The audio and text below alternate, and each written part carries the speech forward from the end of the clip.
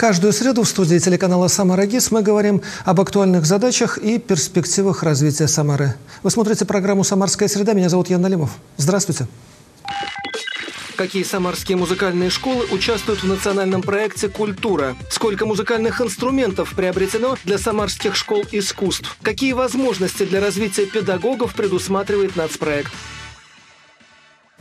В нашей студии Евгения Мищенко, заместитель руководителя Департамента культуры и молодежной политики администрации городского округа Самара и директор детской музыкальной школы номер 4 Ольга Ворожецова. Евгения Борисовна, Ольга Борисовна, добрый вечер. Спасибо, что пришли в нашу студию. Здравствуйте.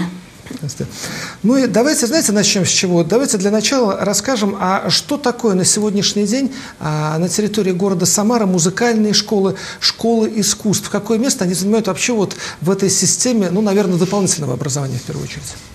Школы искусств, музыкальные школы, художественные школы – это наша уникальная российская традиция, это гордость нашей российской культуры, а потому что школы искусств, они являются такой вот неразрывной ступенью нашего трехуровневого образования, школы, училища, вуз.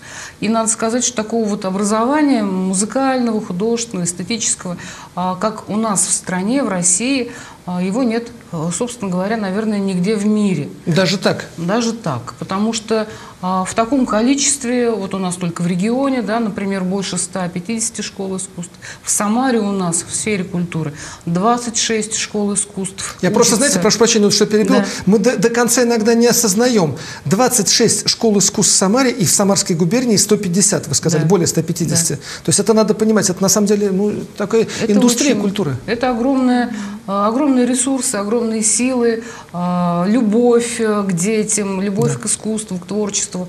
Это уникальные люди, талантливые люди, которые э, ежегодно, ежедневно занимаются с детьми не по расписанию, поверьте, а столько, сколько нужно. И в выходные дни, и в праздничные, и в каникулы мы всегда увидим, услышим, как в музыкальную школу кто-нибудь бежит, ребенок со скрипочкой, либо с нотами, с нотной тетрадкой, э, для того, чтобы дополнительно позаниматься своим любимым педагогом.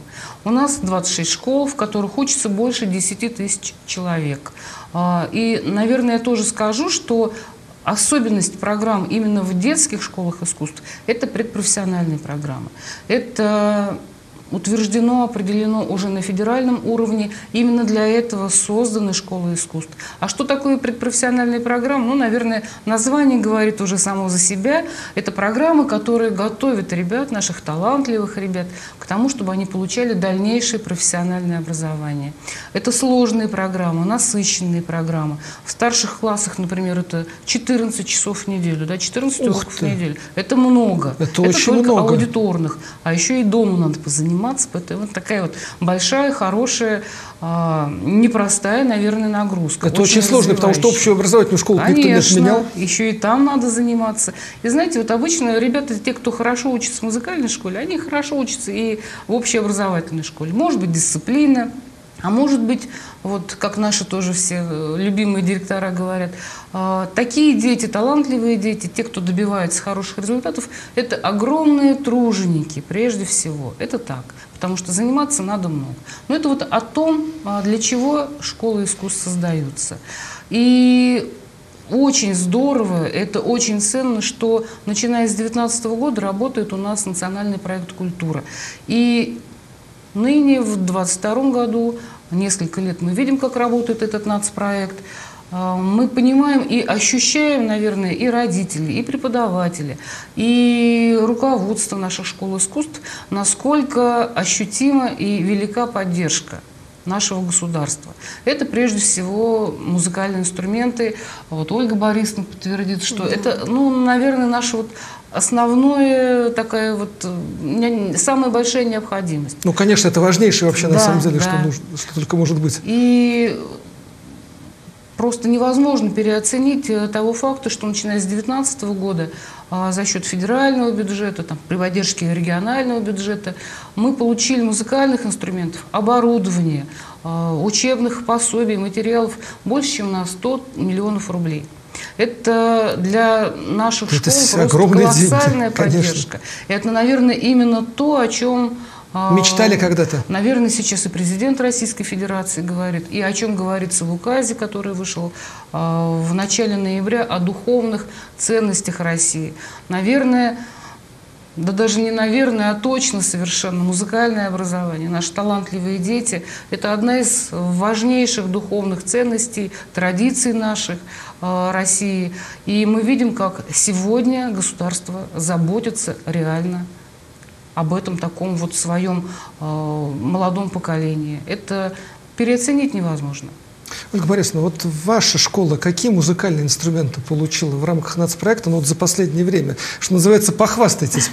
Да, похвастаться есть чем. Мы получили 20 единиц музыкальных инструментов, из них 5 пианино, три виолончели, четыре скрипки, два саксофона, три кларнета, три флейты. Кроме того, 264 учебника по музлитературе и сольфеджио. А самое главное, мы получили то, о чем давно мечтали. Это 126 кресел для нашего большого концертного зала. Просто э, эти кресла с 70-х годов мы не могли поменять, так же, как и инструменты некоторые, особенно фортепиано. И вот благодаря вот этому замечательному национальному проекту наша мечта сбылась. Ну, это, по сути дела, новая школа, я хочу Да, сказать. да. То есть, вот, если взять, э, ну, э, это основной музыкальные инструменты, кресла, ну, это, в общем-то, новая школа. Красивый концертный Да. зал теперь, комфортный, правильный Он преобразился, стал совершенно, заиграл другими красками. Насколько я помню, у вас ведь в этом году юбилей. Да, нам уже на следующей неделе, вот 22 декабря, мы будем отмечать 75 лет. И мы очень рады, что мы имеем такую возможность отметить именно наш юбилей в нашем концертном зале, в котором давно уже мы не проводили массовых мероприятий, потому что в связи с вот коронавирусными Ну да. ограничениями были э, под запретом. А вот сейчас у нас дети просто живут уже этим концертом, родители ждут не знаю как. Поэтому мы приглашаем сегодня и родителей, и детей, и, конечно же, наш департамент культуры. «Самара ГИС» Да, приходите. Поэтому в 4 часа у нас будет Когда, во сколько и где? Скажите. Детская музыкальная школа номер 4, Краснодонская, 36, Большой концертный зал в 16.00 22 декабря. 22 Запишите. декабря. Мы обязательно запишем. Обязательно. Вот, э, кстати, здесь э, важный такой момент подумал. Ведь ваша музыкальная школа, она находится ну, на Безымянке. И такой ведь, э, ну, на самом деле, большой, вот, ну, простите за такое слово, куст территориальный, на самом деле, там находится. То есть там живет очень много людей. Ну, там Да, Кировский, да, промышленный да. район тут. Советский большая. недалеко. Да, это да, вот да, такая территория, конечно. где э, вообще желающих вот, э, очень много. Кстати, э, вот скажите, на сегодняшний день, э, как часто вообще проходят вот эти вот, ну, скажем так, ну, публичные, что ли, мероприятия, концерты, когда можно вот с улицы человеку зайти, вот 22 декабря, еще раз напомню, 22 декабря в 16 часов, то есть можно зайти с улицы и послушать безвозмездно, то есть даром. Это вообще, ну, регулярно бывает вот в музыкальных школах? Ну, в раньше, школе? конечно, до вот этих ограничений, это чуть ли не каждый месяц. Какое-то мероприятие, да, обязательно проводилось. Отчетные концерты школ. А потом День открытых дверей. Это обязательное мероприятие. А, Программа про- для ветеранов Да, всегда, конечно. Да, тоже. кстати, важнейшая Это тоже тема, обязательно да. всегда было. Для да. детей-инвалидов мы проводим ежем- ежегодные концерты вот в Фестивали, декабре, фестиваль, конкурсы конкурсы на нашей базе мы проводим, городские конкурсы, региональные. Так что площадка наша всегда ну, наверное, готова надо принять. следить за сайтом школы, за Да, мы там страничками постоянно школы в соцсетях. Все это там- выставляем и в соцсетях, ВКонтакте, в Одноклассниках, на нашем сайте. И, безусловно, вход бесплатный, понятно. Вот, кстати, Да, важный вопрос. конечно. Вход бесплатный. И, Обязательно. и еще вот что, что хорошо, что сохранили. Вот Конечно. очень хорошо, что это сохранили. А вопрос такой, а сколько детей учатся у вас сейчас? 391. 390. Контингент у нас постоянно не меняется. Детей, в общем-то, много желающих. И на предпрофессиональных программах 313 человек у нас обучает. То есть это те, кто планирует в Ну, дальнейшем в принципе, да. стать принципе, Те, профессиональным кто занимается на исполнителем. сложных программах, так скажем. Да, и, возможно, и у них есть возможность, если желание будет, Есть потенциал, есть потенциал да, стать да, да. профессиональным музыкантом, исполнителем. Конечно, конечно, На сегодняшний день бесплатное обучение? конечно. То есть здесь, я, я понимаю ваше удивление, но с другой стороны, понимаете, какая штука? Мы живем, ну, к сожалению или к счастью, не знаю, век коммерции, и сейчас очень много коммерческого обучения, назовем это так. И поэтому мне всегда вот это интересно. То есть на сегодняшний день можно привести ребенка и отдать учиться бесплатно. Совершенно верно. Да. По-другому быть не может. А насколько сложный конкурс? Ну, И как это знаете, выглядит? Практически где-то бывает два человека на место, Два полтора на место. на место, да. Вот. Ну, детки волнуются и говорят, ну что же, Я говорю, берем, например, пока на общеразвивающие программы, Или немножечко подучитесь, иногда, да, да, а потом бывает. переходят, так что они прям очень хотят учиться пока на То предпрофессиональных есть по программах. городу в целом конкурс э, прием в первый класс два человека на место. Это нас Вот. радует. Это нас, вот я хотел сказать, это радует. Почему? Потому что это говорит о том, что у людей и у родителей, и у детей есть желание, чтобы их дети занимались музыкальной культурой. Вот о чем речь. Желание это и есть, и, конечно, иногда, ну, может быть, есть недопонимание, что школа музыкальная – это не кружок, да, что Да. есть расписание, нет возможности посещать, например, только гитару или фортепиано, а на хор и сольфеджио же можно бы и не ходить. А, Школа, А там- коллектив Школа — это школа. объясняет, Там учебный нет, план, не который надо выполнить, да. Обязательно и вот это, и вот это, и вот это. Только тогда ты будешь а, всесторонне развитым музыкантом или художником. Ну вот вы правильно сказали, это не кружок. Это не кружок. Это надо очень четко родителям Совершенно понимать и детям, что вот куда ты приходишь.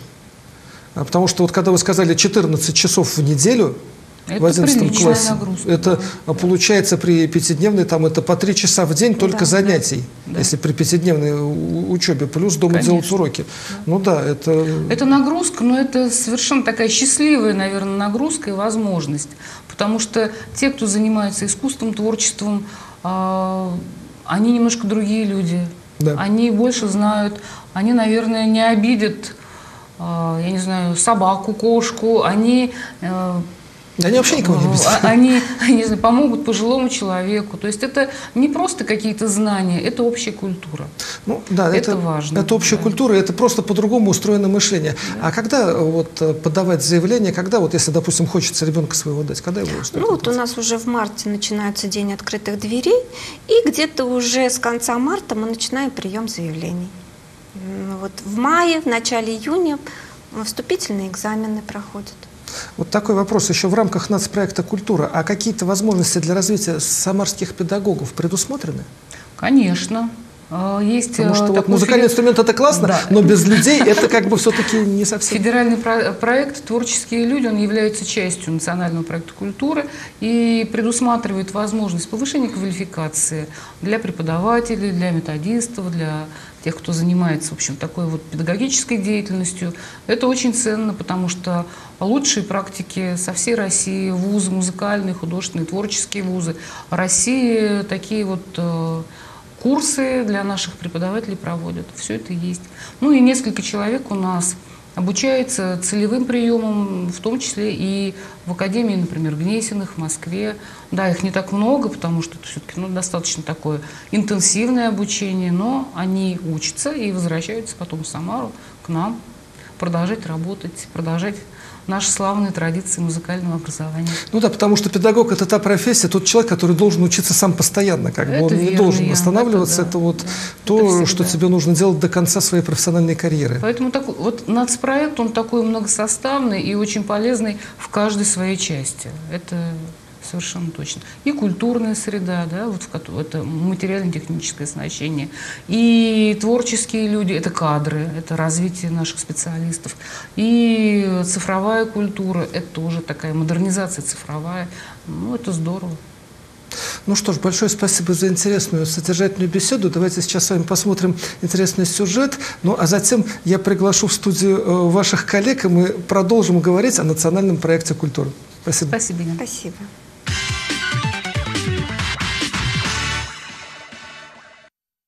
Дмитрий Коцарь, недавний лауреат международного конкурса молодых музыкантов имени Кабалевского. В своей возрастной категории он занял в классе фортепиано третье место. К новым конкурсам будет готовиться на новом инструменте, который появился в музыкальной школе имени Глинки. Пока Дмитрий сыграл на нем лишь пару раз. На нем играл не очень много, ну, в течение э, месяца, наверное, максимум.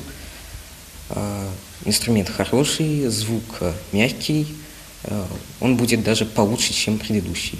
База детской музыкальной школы имени Глинки пополнилась сразу несколькими инструментами, в числе которых фортепиано, электрическое пианино, скрипка, виолончель, флейта и другие. Расширилась и методическая часть, новые учебные пособия, в том числе и в медиаформатах, что особенно нравится ученикам. Ведь не только слушая музыку мы духовно обогащаемся, но прежде всего, когда мы исполняем ее.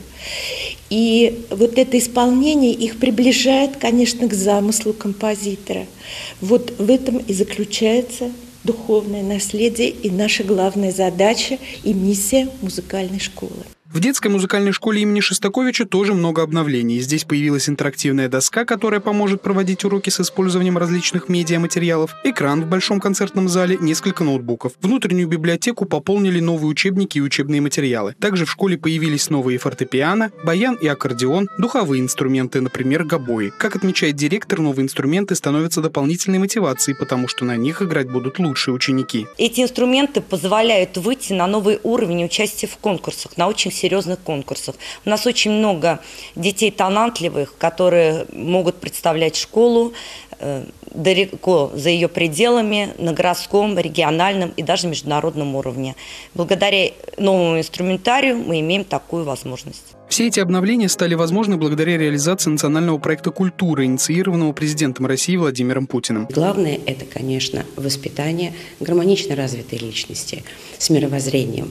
Мировоззрением, которое опирается и будет опираться на наши российские традиционные ценности – Поэтому значение национального проекта «Культура» для меня лично и как для человека, и как для гражданина имеет очень большое значение. Нацпроект «Культура» реализуется в Самаре с 2019 года. За это время городские музыкальные школы получили более 330 музыкальных инструментов, почти 5000 методических пособий, свыше тысячи единиц оборудования. И все это увлекает молодое поколение и вдохновляет покорять новые творческие вершины.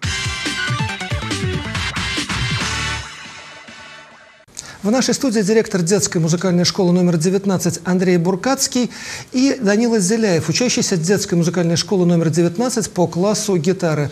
Андрей Анатольевич, Данила, добрый вечер и спасибо, что пришли в нашу студию. Здравствуйте. И для начала скажите, какие музыкальные инструменты получила ваша студия, ваша школа? Вот один из них я у нас в студии уже вижу. Ну, наша школа в этом году получила э, 13 музыкальных инструментов.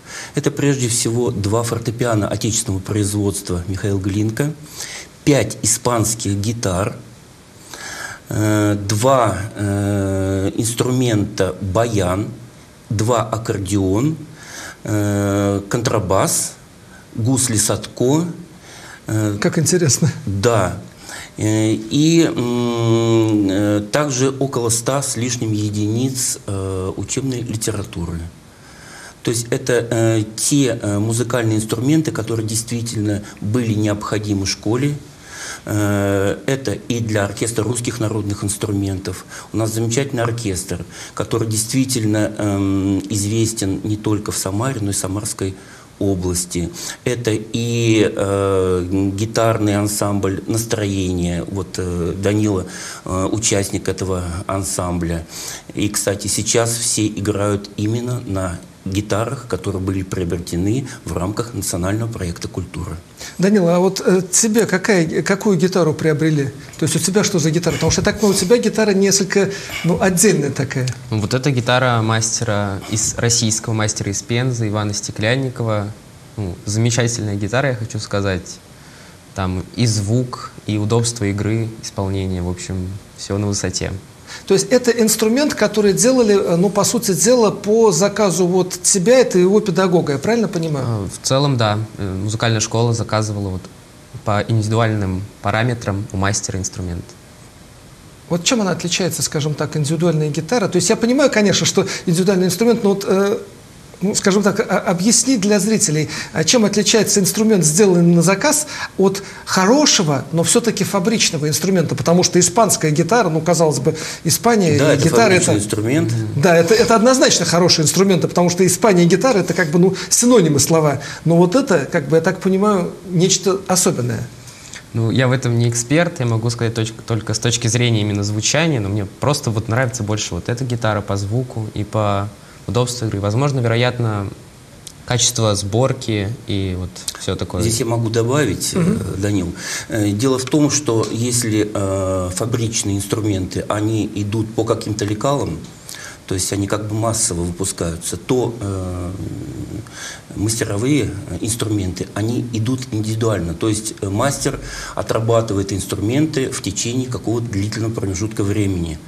То есть они э, должны э, отлежаться, они должны э, приобрести определенные э, звуковые качества, э, дерево должно приспособиться друг к другу. То есть э, все вот эти параметры, они указывают на то, что это длительный очень процесс, и, естественно, качество, и, естественно, мастер, он отвечает за то, что он сделал. То есть это штучный такой? Это штучный товар, да. Данил, ну и, собственно говоря, раз ты здесь с гитарой, я прошу тебя сыграть что-нибудь, исполни, только скажи, что ты играешь, чтобы мы опять же знали. Отрывок из произведения Баха, э, виолончельная сюита номер 6, прелюдия.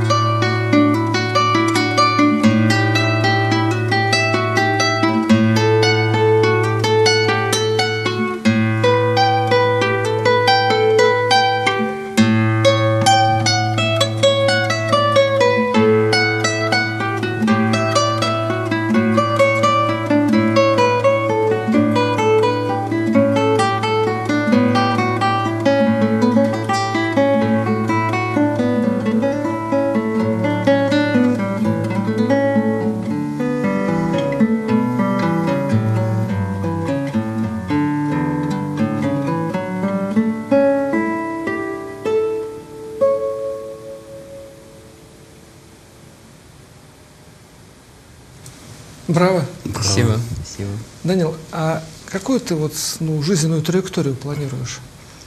Ну, продолжить обучение музыке. Планирую поступить в колледж музыкальный. Сейчас ты учишься? В музыкальной школе. В музыкальной школе и в каком классе в, в общеобразовательной школе? А, в общеобразовательном в 11 В 11 классе. классе. Да. То есть, в принципе, в этом году ты сдаешь ЕГЭ, и тебе нужно дальше уже выбирать, то да. есть, куда, да. как ты заканчиваешь одновременно музыкальную школу, общеобразовательную. Общеобразовательную и, соответственно, дальше колледж. Колледж, музыкальный колледж. В городе Электросталь, да. Почему? Подмосковье. Подмосковье. А почему колледж или именно этот выбор? Почему именно вот именно туда? Ну, мы поступаем с преподавателем, мы выбрали на, будущего преподавателя моего, и вот там, где вот он преподает, Роман Зоркин, это гитарист, и к нему планируем поступать. То есть э, поступаешь к конкретному, ну, скажем так, мастеру, Идет специалисту. на имя. То есть да. Да. поступаешь на имя, а затем уже будет высшее образование, следующий да. этап. Да. То есть на самом деле вот эта последовательность школа, колледж, вуз, она вот как раз и будет соблюдаться. Да. Конечно, да. Вот э, насколько важен э, для тебя ну, инструмент в таком случае, вот э, и сейчас, и в дальнейшем, потому что э, что это такое вообще для музыканта, кстати?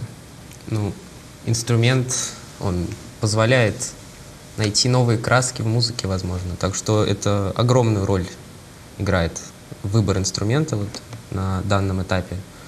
Так что мы сейчас вот с родителями задумываемся над, над покупкой инструмента. Вот, возможно, подобного, что-то вот такое. Ну, то есть это имеется в виду, когда ты окончишь э, школу, э, поскольку инструмент, так сказать, принадлежит Да. э, музыкальной школе, соответственно, и тебе нужно будет заниматься самому, то есть тебе придется думать о том, чтобы приобретать что-то такое э, для себя самого. А вообще, э, с какого возраста, вот, кстати, вопрос, э, я не знаю, Андрей Анатольевич, к вам и к тебе, Данила, вот с какого возраста э, ученику нужно э, заниматься вот на, так, на э, инструменте вот такого уровня, то есть, э, ну, выс- очень высокого класса? То есть, когда можно заниматься на, что, на чем-то простом, или надо сразу садиться и брать вот в руки э, что-то такое идеальное? Ну, сразу, конечно, на Не хорошем инструменте не получится, хотя, с другой стороны, э, ребенка надо приучать с малолетства заниматься на хорошем инструменте. Почему? Потому что он должен слышать, он должен ощущать, он должен привыкать к звучанию, именно к хорошему культуре определенной.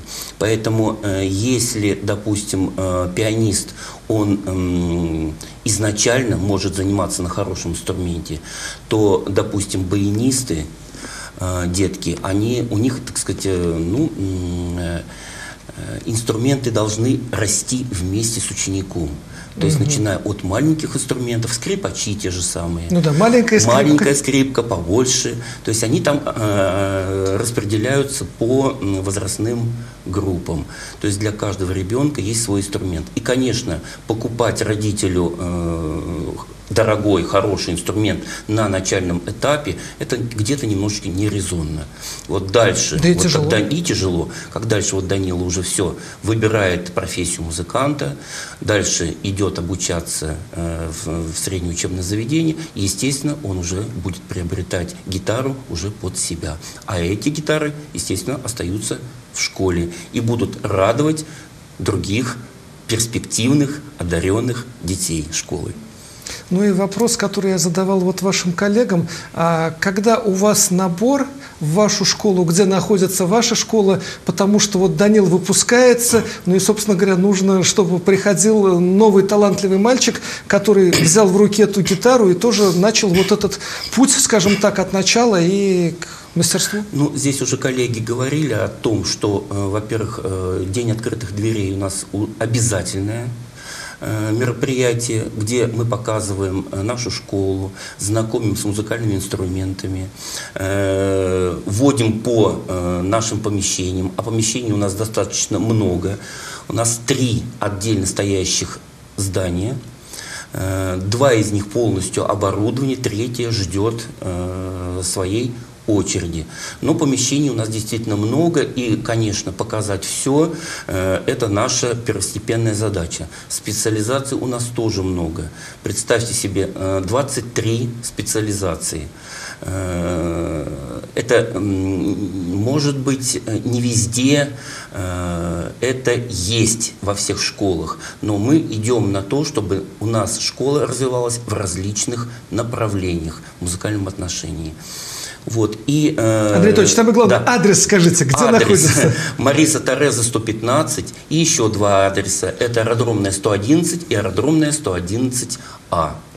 Вот три адреса, по которым, пожалуйста, приходите. Мы будем всех э, рады ждать и будем э, рады приветствовать и родителей. Пожалуйста, э, приходите вместе со своими детьми, внуками. Э, мы всех-всех э, обязательно будем обучать на различных инструментах. И тогда у вас вот к 11 классу Конечно, у нас будет смена, обязательно. будет смена, Дани, и Да. Данил, так сказать, смена Данилу, вот такой вот Конечно. замечательный, Однозначно. замечательный человек. Спасибо за интересную и содержательную беседу. Данил, удачи тебе в начале твоей творческой карьеры, чтобы все у тебя сложилось, чтобы ну, ты добился того, о чем мечтаешь. Спасибо. Напоминаю, в нашей студии были директор детской музыкальной школы номер 19 Андрей Буркацкий и Данила Зеляев, учащийся детской музыкальной школы номер 19 по классу гитары. Всего вам самого доброго. До свидания.